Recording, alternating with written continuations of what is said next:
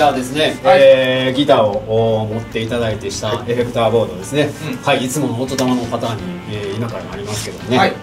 こういう形ですよね、アコギを持ったユニットの形という形なんです。なんか新鮮。ねえ新鮮ですよね、さんがギターを持っているう。う。ん。なんかねほとんど認知されてないとは思うんですけどもまあもともとフォークギター上がりであのまあチンペイちゃんのものはねやっててありがとうと言ってねございましたんで、はい、なるほどね今日その曲もやってくれるんかいやなーちょっと練習する時間ちょうだい。なんですね。じゃあまあギターね。これはこれあれですよ。衣装に合ってますよね。ちょっとね、まあ、皆さんもねあのギターあの触られてる方はご存知でしょうけど、まあ、オベーションってねオベーションアメリカの、はい、メーカーで、はい。まあ、それこそねあの最高機種のアダマスなんていうのは数百万とかねしたりさしますけども、まあ、すごく鳴りがいいです、まあ、私が使ってるのはこれね大衆モデルのセレブリティ、はい、でメイドインマレーシアですはいはい。はいだからそれでもまあまあね10万以内で買えるものとしてはもう音はあのかなりいいんじゃないかなと思ってますね、まあ、今も言いましたようにこの、えーボディトップですね、うん。こういうあのカラーがすごくこのメーカーは綺麗でこれグリーンとかブルーとかいろんな色があります。あの上は合板なんですけどもあのオベーションの特徴として後ろがねこう、えー、とボールといってもあほんまやね FRP というかそのプラスチックですね。ほんまやね。ですから木木ではないキーじゃないねですね、オベーションの一つの特徴というかあの目指すところとしたらそのボディのなりじゃなしに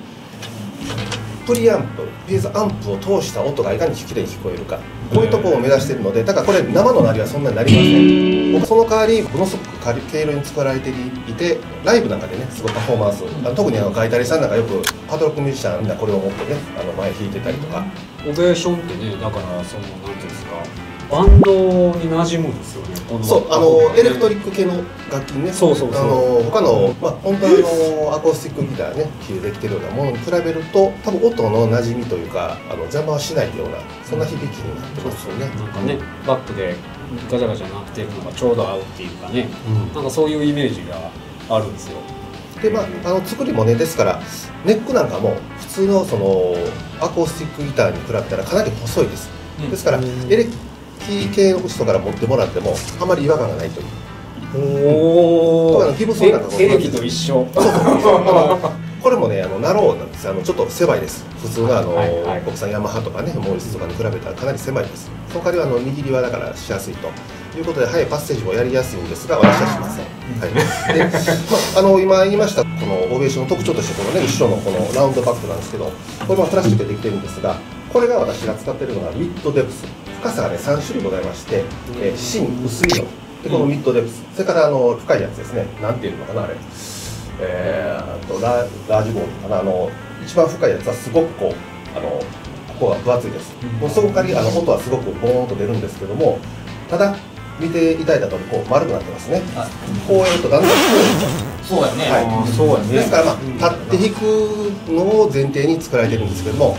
私は立つと疲れるので座ります。で、まあ、これでも十分ねあのこの厚さでもあの普通のギターと同じぐらいの厚みありますので、まあ、それなりに。結構分厚いですよこれでもね、まあね、だからこのサウンドホールも本当のあのギターのサウンドホールみたいな役割はしてないんですけども、まあ、こちらにはついてますのピエゾピックアップ、まあ、こちらがやっぱりこのメーカーの肝でこれはあのこのブリッジとね一体化してて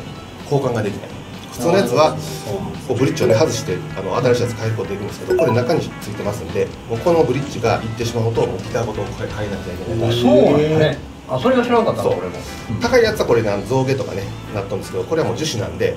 だんだん弦の張力に負けてへこんでくるんです。するとこの弦の高さがバラバラになってくるんでで中にシムってねこのブリッジの下にシムをね薄いシムをかましてちょっと高く調整してするぐらいしかないんで。もうそもそも池ちゃんピックアップとは何ぞやいうレベルでしょいや音玉で出てくる。おおもう学びましたか。名前だけ知っとんす よ。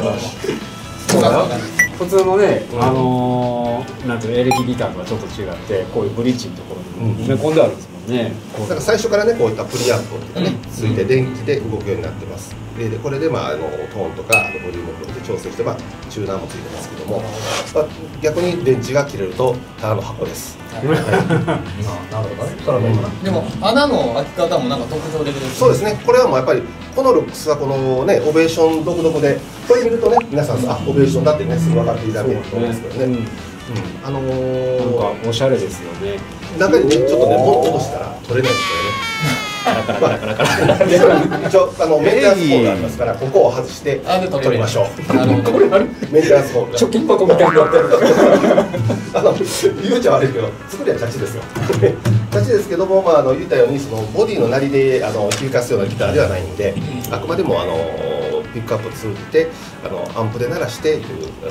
ことが趣旨のギターなんでこれだけで生で音で演奏していたらちょっとね音圧が物足りないかもしれませんけどね、まあ、初めてあのアンプ通して、えー、といい音が出ると。まあ、ということでですね、えーとまあ、普通アンプ直でもいいんですけどもやっぱりそこは角田さんはあのエフェクターをご用意してるんですけどね、えー、エフェクター紹介しましょうか。はい。エフェクターはこちらです。どうぞこれねこれエフェクターと言えるのかどうかあのねはっきり言っちゃいます。そうメイドイン中華なんですよ、でもねこれ一応マルチなんですよ。右からねプリアンプ真ん中がコーラス、えー左端がリバーブとアコースティック系にはその空間系的なものがね欲しいです。ちょっとじゃあね聞いてみましょうかね、うん。今一回全部消しましたけど、はい。プリアンプ入ってるんですね。そうなんですね。プリアンププリアンプ。なんですねそうです、こっちもプリアンプです。プリアンプでこれもね、使い方によっては本当にちょっとね、あの毒の消し合いみたいになっちゃうんですけどもね、うまく使えば美味しいところだけを増幅できて、あのみんなに届けたい音域で音を再現できるというね、ちょっと、ちょっとじゃあオンオフで聞いてみてどうかですよね、はい、これがね、えープリアンプあの入れてない状態ですね。こんな状態です。これをちょっとアンプリアンプを押してみましょう。ちょっと音が増幅されます。ちょっとね、音が増幅、ちょっと音あの厚みが増しましたね。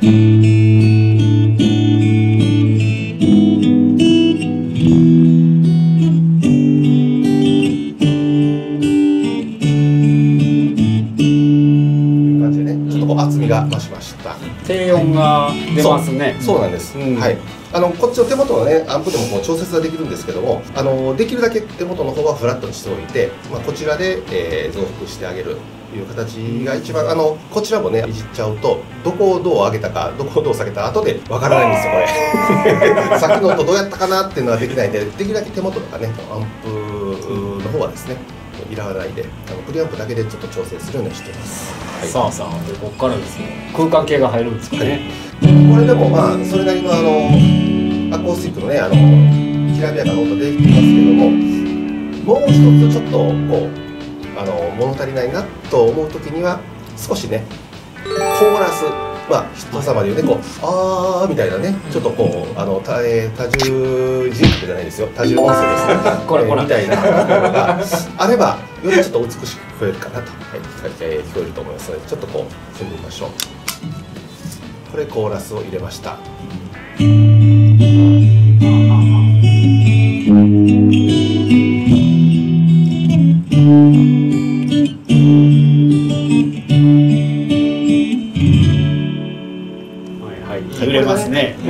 揺れてますね。トレモロ効果っていうんですけどもこれによってちょっとこうギターがねもう一本あるのかなみたいな、うん。ちょっと高いところか低いところでもう一本なってるのかなみたいなそういった効果が得られますのであのよりちょっとゴージャスなイメージになりますね、はい。これを実際バージンさんでもコーラスはよう入れてるんであすか？基本的には僕はねかけっぱなしです、あというのがずっとコあーラスの入ってるんですか？基本ねコード感が出るのはこのギターだけなんででボーカルとでしたらやっぱりそのどうしても何もなしでやると線が細くなっちゃってね音のね。ちょっとコーラスをかけて少しちょっとあの厚みをうん。持たすみたいな、声の方にもちょっとこう下からあの押し上げるようなそういった効果を得るようにしてますね。おーということは、えーさらにその横のこれはい。リバーブ、はい。リバーブも厚みも出すために。そうなんです。楽器でいうと本当あの大きなコンサートホールでやってるような、うんうんそういったところでねなってるようなイメージを、えー、おたさん空間系をすごく広く使ってるようなあの効果が出ます、まあ、それをちょっとこう押してみます。今のコーラスにこのリバーブを加えてみます。はい。するとちょっと音的にこんな感じです。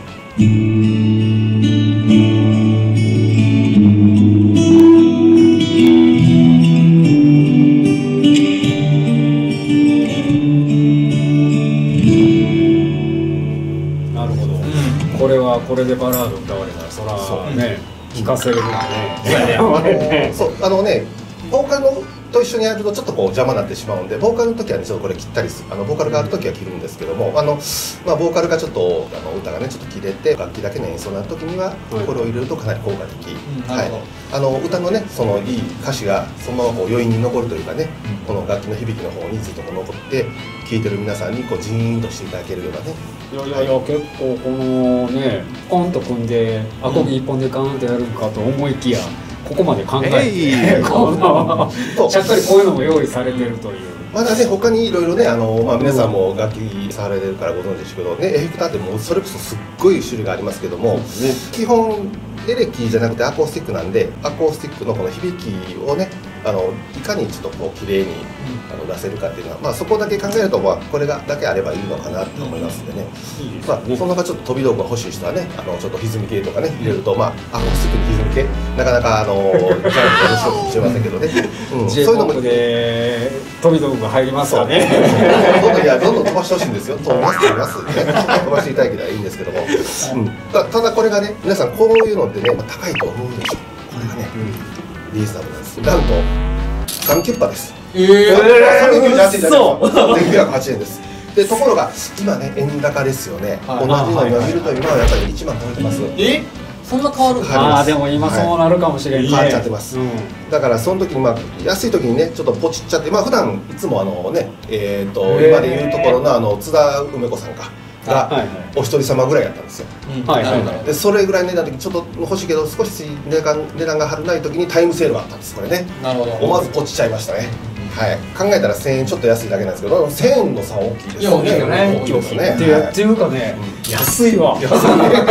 はいむちゃくちゃ安い。悪くないもんね。全然悪くない。だから安かろう悪かろうかなって聞いたら、まあ普通にその国産のね某あの大手メーカーとも変わらない喧騒ない音出るんで、ううん。んまあこれで十分じゃないかなと。あのー見ていただいたら分かりますけど一応ダイキャストボディボディなんで、まあ、踏んでもそれなりに、はい。ね。うん。うん。あのアルミ鋼板かダイキャストなんで、まあ、かなり堅牢性はあるのかなと思うんで、まあ、それなりにステージこれはいいっすよ、うんサンキュッパでこの音を作れるんやったら、はい。で最悪壊れてもサンキュッパでまあ、諦めはね、まだ同じものを探そうと思っても見ようとないと思います。けど、まあまあ、あの代わりうん。に似たようなものはいっぱいあります。はい、まあ、皆さんもね、試されてはいかがかなと思います。この使ってますワイヤレスもね、これもチャイナです。これもね、えっ、とタイ、タイムセールでね、これの。ああはいはい。うん、これも、えっ、と、2000円にしたかったかな、1800円ぐらいだったと思います。まあ、普通3000円とか4000円ぐらい出てるんですけども。なかなかあれですね、うん。えー、あの抑えていってますね。やや貧乏にやないというやばい、まあ、そこはね、あのいかに安くてね、あのいいものをね、あの探していくかというのも楽しいので、はい、ですよね、あのそういう形でも実際にユニット組んで活動はこれだけアクティブにやってるわけですからね、はい。今から始める子なんかでいいよね。ちょうどいいですそうそうそうそう、ね。うん。今の子は恵まれてるね、こういったこんなところですだからねね。もうギターも一通りエフェクターも一通り紹介してもらいましたんで、ういよいよですよね。いよいよ僕はここからが今回楽しみなんですよ、えー。実際のこの演奏ね。うん。うん。やっぱり見てみたいじゃないですか。あの皆さん、あんまり期待しないでくださいよ。 take one、take two、take take three、いいの使いますから。あのこれも音玉のね件としてね失敗したら全部流します 行こう行こね、ぜひともちょっと僕らもね、えーこんだけ近くで聴けることないんでそうですね楽しみなんでねじゃあちょっと演奏の方ですねよろしくお願いしますう。はい、お願いします。お願いしまし